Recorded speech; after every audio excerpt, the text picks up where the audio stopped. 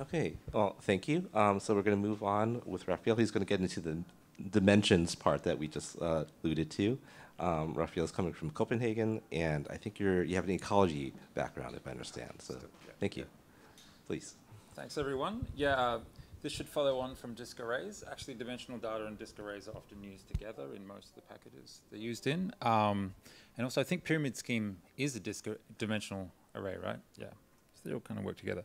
Um, so First question, um, maybe people in Julia, new to Julia don't know about this, but there are a lot of dimensional array packages in Julia. I think there's like seven if you count the, the edge cases. Um, and so I'll just answer why this one exists, um, basically. Um, I think it's justified itself now, but in the early days it hadn't. Um, so the problem is geospatial data. Name dimensions and lookup values are ubiquitous. We have uh, x and y, latitude and longitude coordinates. We have time dimensions.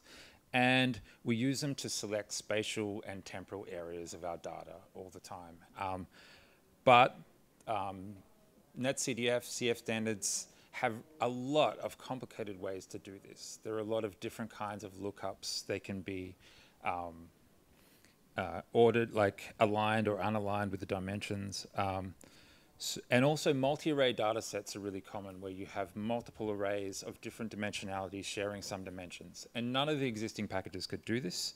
Um, this is something that Xarray can do. Um, the name is cut off the bottom of the screen.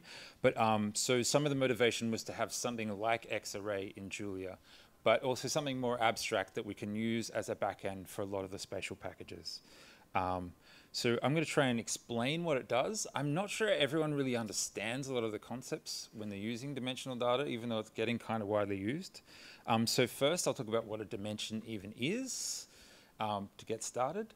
So dimensions, it's just a wrapper type. It's a very dumb thing. It's one struct that wraps something else. And this act of wrapping something tells us what dimension we mean this thing is from or related to. And um, that can really be anything. It can be an integer, so we can see the first item on the x dimension. It can be a range. This may be the lookup along a dimension. It can be a selector. Here we're seeing uh, things on x not at 70. Um, but really this can wrap anything. So it's kind of extensible to be used um, to relate actions to dimen dimensions. Um, we've defined a bunch of standard dimensions, x, y, z, and time, because we can't really use time or t. Um, and this like, standardizes spatial data, but we also have just generic dimensions where you can name your dimensions anything you want. Um, but they're all subtypes of dimension. Um, the next concept is lookups. These used to be the same thing and they're separate now. A lookup is an array that holds values along a dimension. Um, has traits like points and intervals. Um, but most of these are detected automatically from your data. So like when you're using dimensional data, half the time you don't know these exist. They're kind of in the background making things work. But they allow us to dispatch on some of the things I'll show you later on to give correct selecting behavior over intervals and points and fast lookups so we know the order of, look of arrays already, things like that. Um, you can define them manually when you need, and here's a sampled uh, lookup, the most common one, and it's an abstract sampled aligned lookup. Um, so that there's quite a, a, family of different kinds of lookups.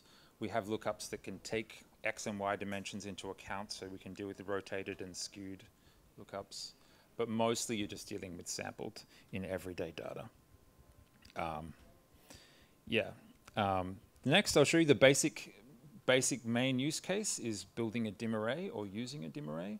Um, and a dim array is an abstract dim array, um, which is just an abstract array. So mostly it behaves just like an array, uh, unless you use special indexing. Um, this is the, the simplest way to make an array. We've made an array with a small vector of numbers and a dimension holding a vector of values that relate to those numbers. So you can see that those are detected as being categorical values.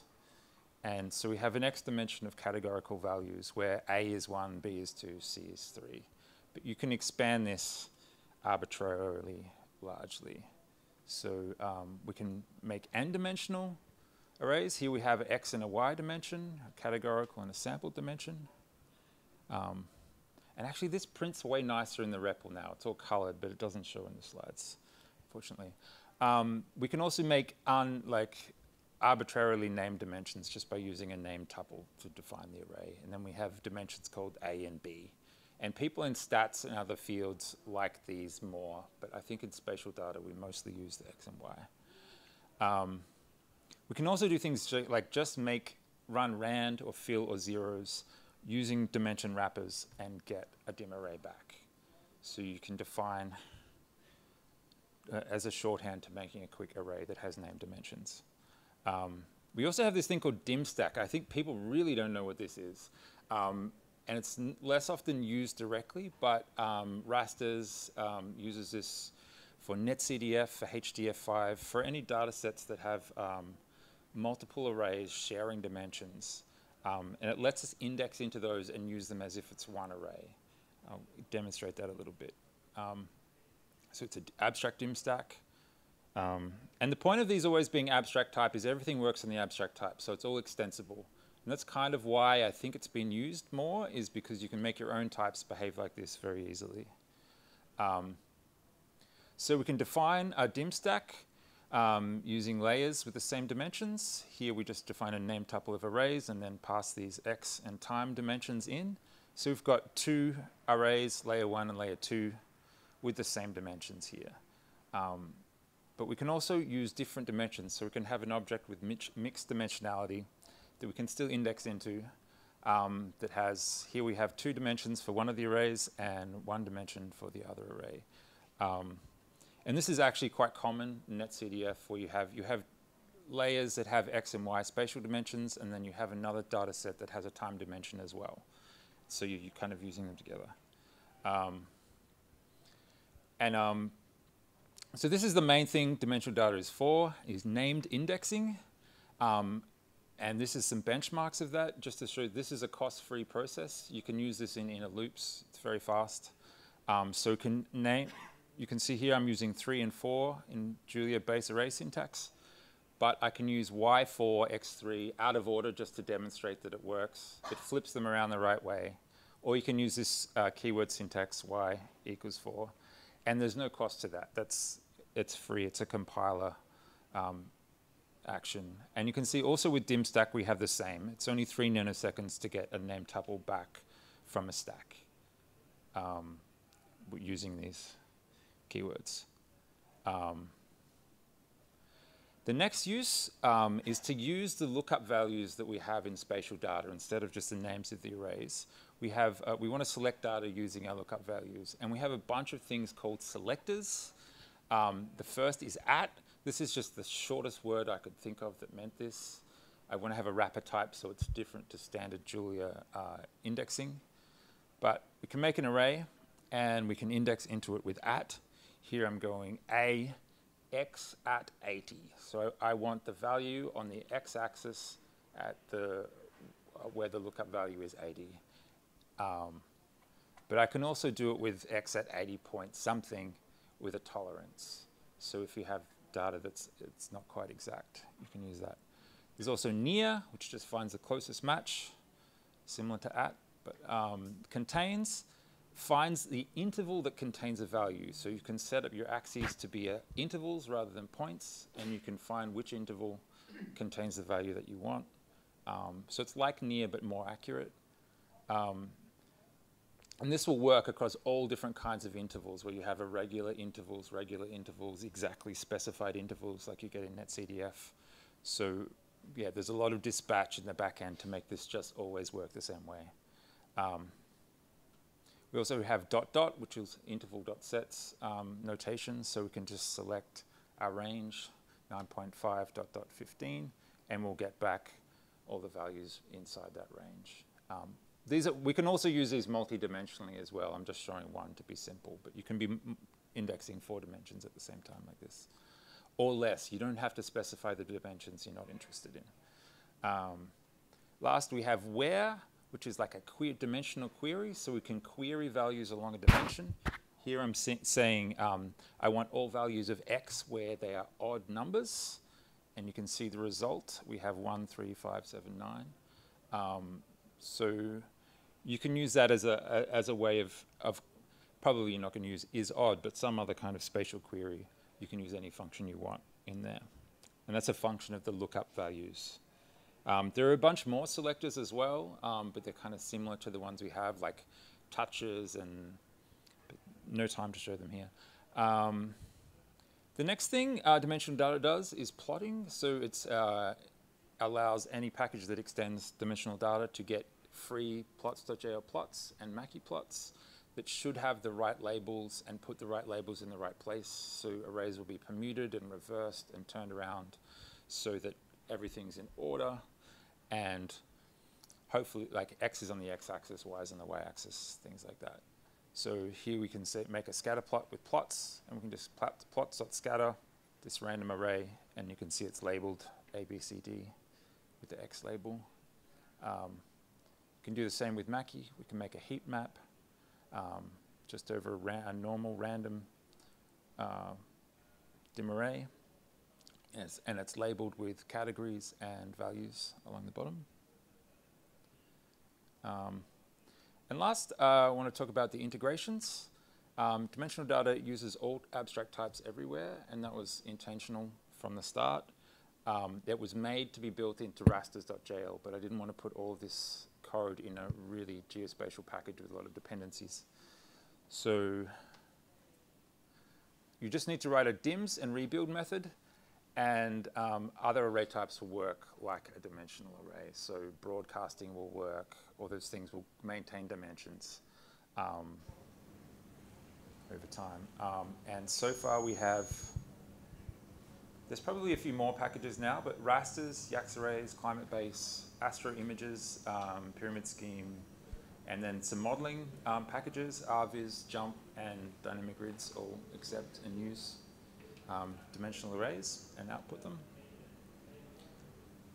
And let's say thanks to all the contributors over the last few years. Um, and also we'll, we can just check out the new docs.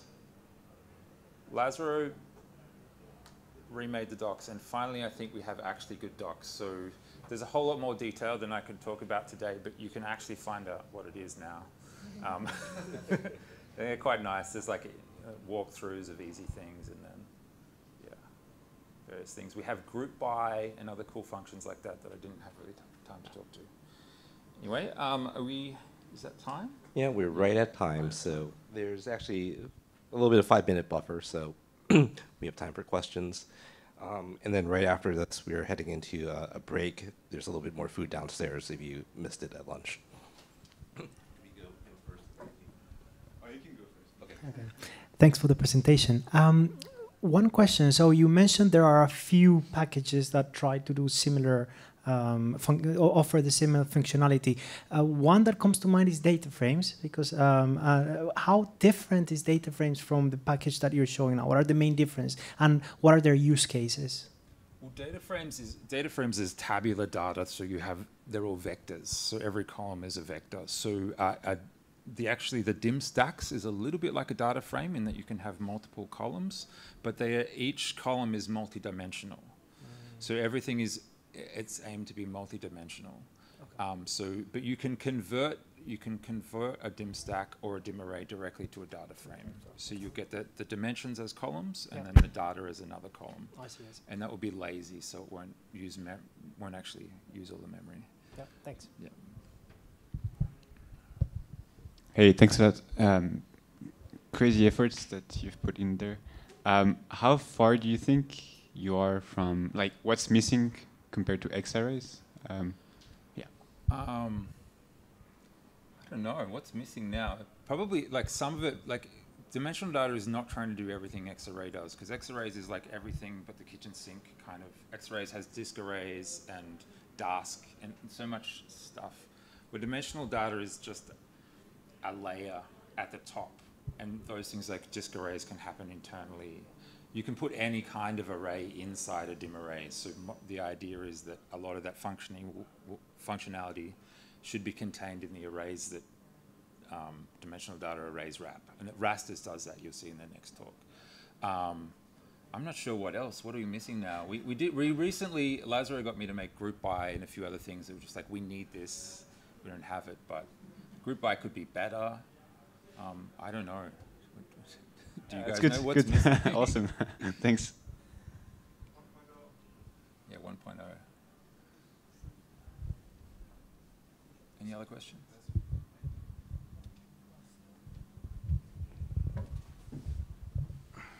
maybe a naive question. Um, uh, how feasible would it be to use this as a surface, whereas like the underlying array is actually unstructured, so that you could basically have um, data. Let's say if you're thinking about data on the globe.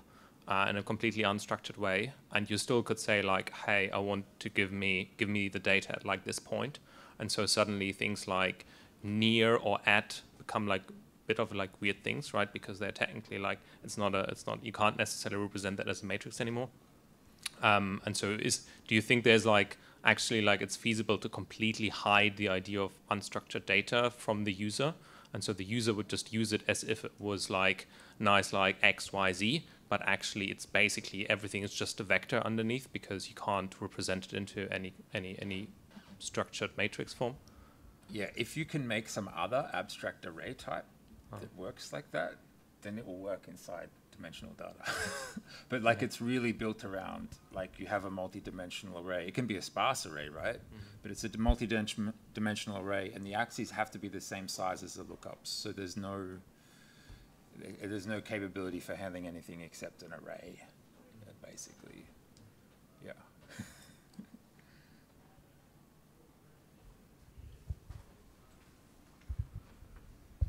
Okay, so we'll break for 10 minutes. Um, we'll start back here at uh, 9.40, again with Rafael on rasters.jl. So see you guys in 10 minutes.